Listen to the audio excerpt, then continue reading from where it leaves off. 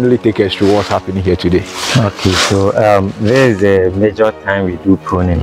It starts from the onset of the rain. We don't wait till the major rainy season before we do pruning.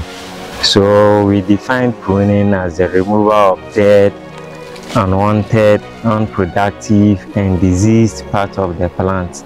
So we have example of um, a parasite which affects cocoa. There is it. Mm-hmm. Yeah, it's called a mistletoe. Mm-hmm. Yeah. So it's a parasite. It feeds on the cocoa tree mm-hmm. and attacks it till it kills it. It will reduce productivity drastically and later um, it will die. The cocoa tree will die. Okay, so with the pruning, as we defined earlier, we remove unwanted branches. When the cocoa reaches some age, it needs um, just 30% of shade and the rest should be sunlight, which will be which will help in the preparation of food. So as we came to this farm, we could see that the farm is very, very cool. And if it happens that way, it serves as a breeding grounds for insects, for insects and other fungal infestation. So when you set your camera higher, you could see that there are a lot of black spots Yeah. on the cocoa tree. Yeah. And Due then because the of the fact that, sunshade, is not going to be Yes, that yes. visible. So after this pruning exercise, next year when you come, you will see that most of the beans are very, very fresh. Um, insects and fungi will not be able to thrive under. And the other one is uh, the interlocking branches. You Okay. can see that most of the branches are locked with each other. Sure. When it happens this way, spread of disease is very simple. An example, when about 50 men are packed in a small room with a small body contact, there will be transfer of disease to one another. Just like a prison. Yes, yes, just like a prison yard. Oh, okay. So with this pruning exercise, we are expecting to increase productivity since the unwanted branches also take nutrients. Okay. Mm-hmm. So we compare it as uh, maybe 20 people eating from a bowl. Competition will be very, very high. Mm. But when you reduce the number to five, the level of satisfaction would also be high. So as you could see this tree, Okay. we've reduced the number of branches by removing the unwanted and the dead ones mm-hmm. From the cocoa tree. So after this exercise, it's only going to increase productivity since the branches and the leaves have been reduced to leave for the ones that will be productive to bear the fruits. No, okay. Uh, so I think these are uh, the results we've seen on the floor. They're the ones you've taken off the tree. Yes. Yeah. So, but then I quite remember one of those people have the section that uh, the more the branches, the more fruits you are going to have on the uh, tree.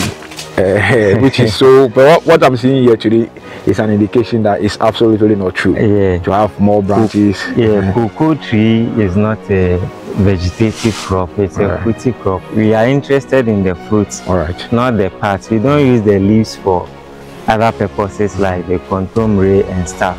For cocoa tree, is your pores unique. So when you have more branches, as I said earlier, they will just be competing for nutrients to survive whilst leaving the formation of food. And also when they are, the nutrients are not sufficient, you could see that the cocoa tree will be there. Sometimes you see the leaves flourishing, mm-hmm. but the post production will go high. So we don't need much branches in cocoa tree. We only leave the productive ones to give us our pulse. All right, so you've just said. So I think viewers are learning something today. Uh, so it's not about the number of um, branches you have on the tree that is going to give you uh, the fruit, more fruits uh, when it comes to cocoa farm. Yes, unlike orange farm and co. So that's what we're learning here. So what other things do you have to teach us uh, apart from all that you've explained? Okay, so with this pruning, we do the removal of the branches and we also take off uh, the, the those uh, we call it sanitary harvest. Okay. So looking at some of the trees, you could see that they have a lot of black black spots on them. I think that's one So at the other end. That's one here. So we are going to take off all these uh, pods okay. to allow for other ones to come. Oh, okay. Yeah. Uh, They are all diseased and we have to take them off. okay. And sometimes we even dig a, a hole and bury all those things to avoid the contamination of the farm. Oh. So that's the sanitary harvest. It's, it's a harvest, but that harvest you don't use it for anything. It's just the black ones mm-hmm. and the little cherries which we're not able to develop into pods. We remove all those ones, and that's the sanitary harvest All right. Oh, when we are doing pruning. But we advise farmers to also be doing the sanitary harvest mm-hmm. while doing the main harvesting okay. Okay. to avoid wasting of other precious mm. time to come back to the farm mm-hmm. and do sanitary harvest mm-hmm. alone. It's very tedious to walk from the farm to just come and do sanitary harvest and go back. All right. So what happens to the branches that you chopped off? The Yeah. ones we've seen on the floor, like these very ones we've seen. Okay, so What happens to them? So those who don't have firewood homes, mm. maybe they can wait till it dry and they use it as firewood. Alright. Also, um, the leaves will serve as a, as a mulch. Oh, okay. Yes. So as you could see leaves mm-hmm. packed all over here, mm-hmm. the leaves would also decompose mm-hmm. with the branches that are cut off to serve as nutrients as well. But it will take a lot of time. Yes. It doesn't work like the uh, inorganic fertilizer. Right. With this one, it will take a lot of time. Mm, okay. So that means, uh, by the explanation you're giving, that means you are going to leave all these ones here. We are going to leave them. Oh, okay. And is it not going to worry the farmer when it's time for harvesting because like working through all these things? Yeah, so after pruning, we cut um, the unwanted branch, we chop them into smaller parts Alright. to allow for easy decomposition. Okay. Yeah, so we are going to cut them into smaller parts, and with this one, within one week after cutting them, you come to the farm and you not even know we've done the pruning. All right, that's great. Uh-huh. All right, thank you very much for your time. And I'm seeing two gentlemen helping you with the pruning. I think they are experts. Yeah, that's very true. Uh, okay. We, we employ them to assist us right. and do the pruning exercise. Oh, because you know most of the farmers are aged Okay. are aged farmers and they do other crops as well. Mm-hmm. So we we engage these guys to help us in the pruning exercise. Oh, okay. That's good. All right. So when, when it comes to the tools and the equipment to be used in pruning, which which are the tools that can be used in pruning? I saw something I saw like what you holding. Aside from this, what else? And how is this one called? So this is the pruning blade. Okay. Yeah, that's the pruning blade. With this one, it's not advisable for you to climb the tree Okay. to cut. One, the tree is not that strong, you can fall. And the other reason is you will cause injury to the tree. And also you are going to drop a lot of flowers and pods when you climb it.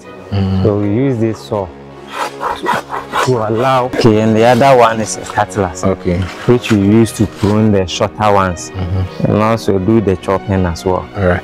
So Mm. aside from these ones, you don't have any other one that is faster as compared to like We machine? have an uh, electronic one or a, it's just in the form of a chainsaw, but farmers don't prefer that one because of the weight. Oh, It's very heavy. And also it uses petrol and engine oil. Mm-hmm. So to save cost, we rather go in for these simple tools. That But with that one as compared to the which is faster? okay, so when you are doing very mature farms, like trees that are very mm-hmm. big and other things, such as this one we did here, mm-hmm. that one will go very fast. It will go very fast for us. But you know, due to financial reasons, purchasing of fuel and other things is a big constraint. Mm-hmm. So we, we advise each farmer to get a pruning blade on his own and a cutlass. A very sharp A one. very sharp one. Mm-hmm. Very sharp one. All right. Okay. All right. Okay. Thank you very much. That's great. Thank you very much for your time. All right. So, viewers, that's what Theo has been able to explain to us. So, until then, we would have to, you know, catch you in another episode. But if this is your first time of visiting our channel, to be pleading with you to subscribe and also hit on that post notification bell. you see now whenever we upload new videos, you would also get a notification or get alert on your device, being it your smartphone or your laptop or whatever device you're using, accessing the YouTube channel. Thank you and catch you in another episode.